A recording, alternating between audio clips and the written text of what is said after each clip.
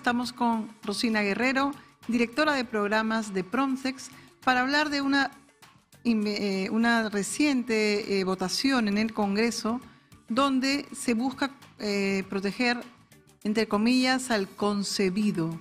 Pero lo que oculta esta medida es, digamos, acabar con los protocolos de aborto terapéutico que no terminaban de aplicarse a nivel nacional porque faltaba la reglamentación y otras cosas que nos contará Rosina. Buenas noches, Rosina. Cuéntanos qué significa esta votación en el Congreso que acaba de darse unos minutos.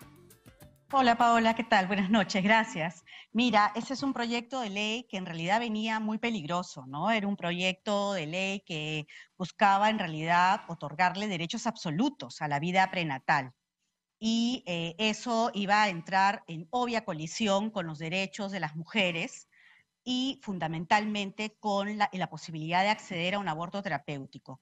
Este proyecto también buscaba, Paola, algo muy peligroso, y es que cuando la mujer gestante eh, estaba, eh, digamos, eh, en su vida estaba en riesgo, otras personas podían decidir en vez de ella, ¿no? Entonces, en realidad son proyectos que están orientados a limitar la única forma que tenemos en este momento en el país las mujeres para salvaguardar nuestra vida, nuestra salud frente a una gestación que pone en riesgo ambas cosas, ¿no?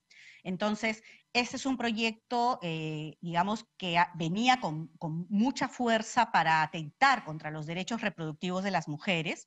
Sin embargo, gracias a la, eh, insistente, al insistente trabajo de la ciudadanía, de las organizaciones de mujeres, de derechos humanos, en el Congreso se ha ido retrocediendo, ¿no? Y eh, lo que se ha aprobado finalmente el día de hoy es una fórmula muy parecida a la que existe ya en la Constitución, ¿no?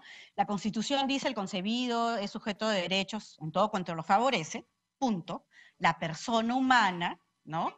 Eh, diferenciando el concebido de la persona humana. Ese es el estándar que hay ahora constitucionalmente. Y entonces este es un proyecto que dice el concebido, sujeto de derecho en todo cuanto lo favorece, y los derechos son, y hace una enumeración de los derechos, ¿no? Entonces, eh, no entra a discutir ni a darle un estatus de persona, como era la intencionalidad de este proyecto de ley que fue presentado por la congresista Guayo, ¿no? Y es, termina siendo un proyecto nuevamente que, eh, eh, digamos, ha sido muy peligroso, pero que eh, es una copia de la Constitución, de lo que ya está vigente desde hace muchísimos años en el país, ¿no? Y que da una mala, eh, un mal mensaje, Paola, eso es lo más preocupante, ¿no? Mm. Da un mal mensaje porque este, se cree que se está defendiendo, que se está eh, legislando, y en realidad cuando esas leyes ya existen, y entonces el Congreso no está haciendo nada novedoso, sino más bien malgastando recursos para eh, aprobar este tipo de leyes, ¿no? Que, venían peligrosas, como te digo, pero que gracias al trabajo que se ha hecho desde los movimientos de derechos y de mujeres, esto ha podido ser frenado, ¿no? Entonces, felizmente, Paola, es que eh, esto ha logrado ser frenado y el aborto terapéutico sigue vigente en el país.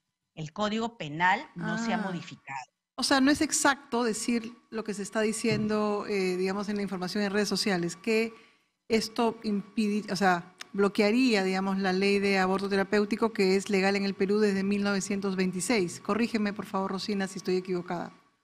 Este, este proyecto estaba destinado a eso, Paola, mm. a cambiar el estatus jurídico del concebido que actualmente se tiene, pero para eso se necesita una reforma constitucional, ¿no?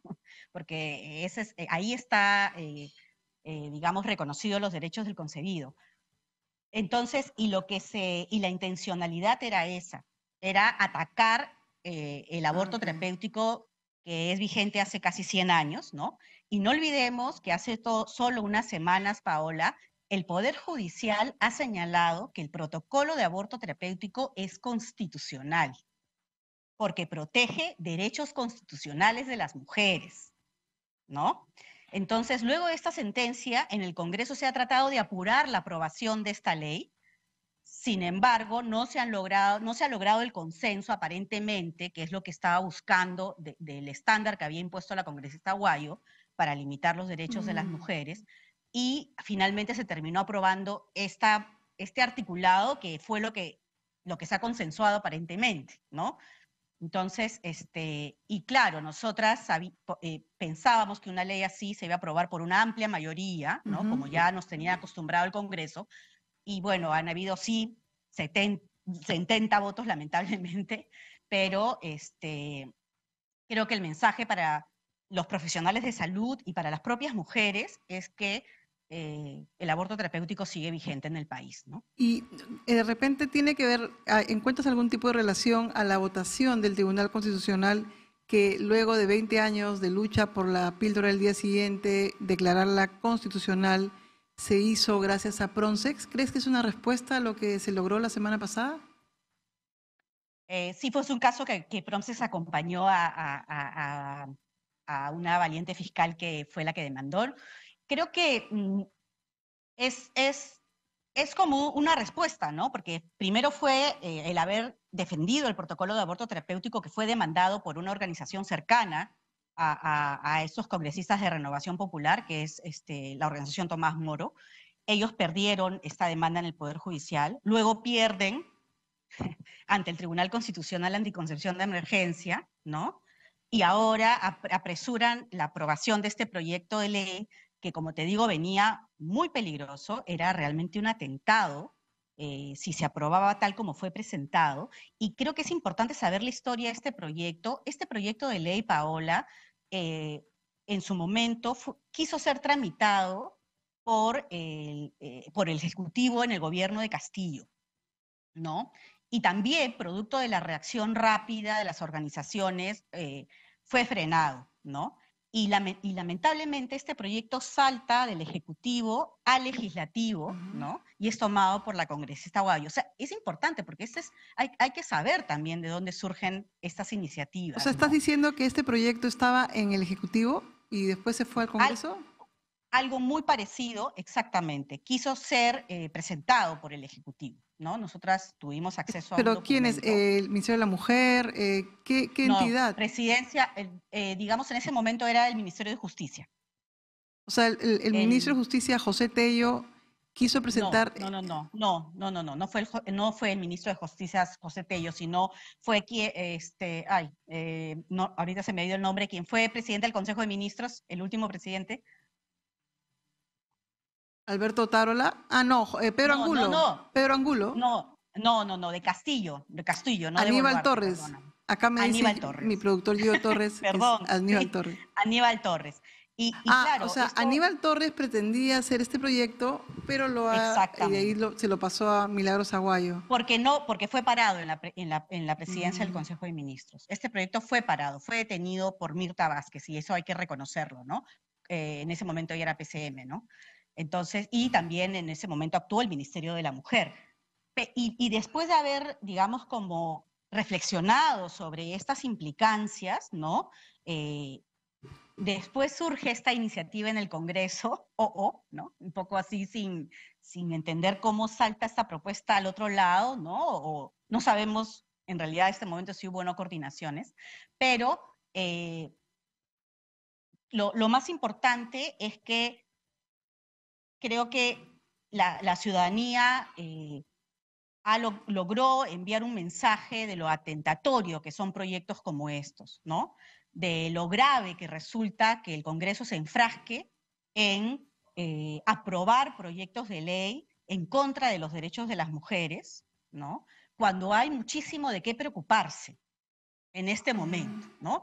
Y una inacción absoluta y brutal frente a los feminicidios, frente a la, violación sexual, porque no olvidemos que este Congreso y esta misma congresista está queriendo, por ejemplo, prohibir el lenguaje inclusivo en las escuelas, ¿no?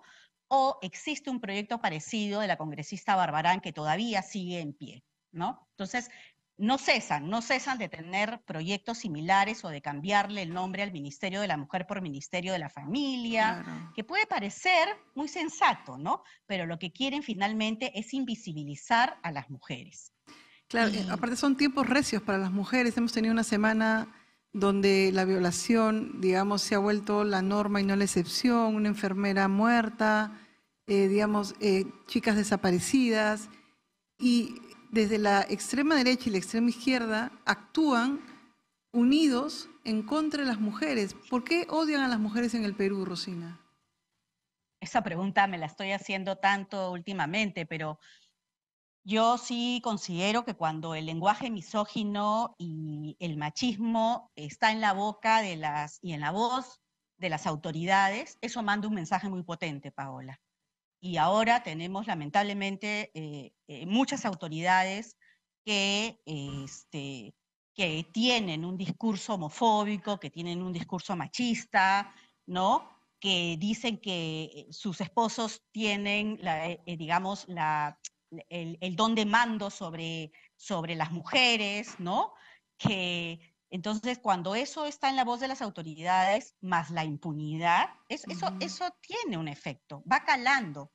Si nosotros tuviéramos autoridades que realmente deslindan, asumen frontalmente la lucha contra la violencia, luchan por los derechos, por más derechos, esto yo creo que sería distinto. Pero tenemos autoridades que lo que quieren es restar, restar, restar derechos y frente a ello eh, la impunidad reina, ¿no? Eh, eh, es el, cotidiano de las mujeres víctimas de violencia, de las niñas víctimas de violación, es la impunidad. Entonces, y creo que sí que por otro lado, esto peligroso de ir en contra de los derechos de las mujeres busca desaparecernos como sujetas de derechos, ¿no? Como existencias. Y justamente lo que el violador y el feminicida tienen en la cabeza.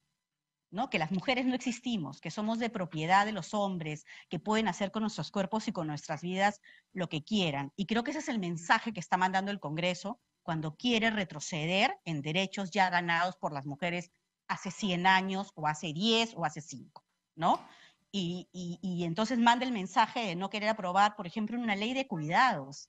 O sea, una ley tan inocua, ¿no? Y tan potente para las mujeres que son cuidadoras, que somos cuidadoras y que no quieren aprobar, ¿no? Que se niegan a tener en el país una política, una ley de cuidados, ¿no? Se riñen con la palabra del cuidado. E, e, es, es sorprendente, ¿no? Rosina Guerrero, directora de programas de Pronsex, estuvo en Nativa Fondo y bienvenida la próxima semana para hablar sobre este y otros temas. Muchísimas gracias por la entrevista y hasta la próxima. Gracias, Paola. Un abrazo.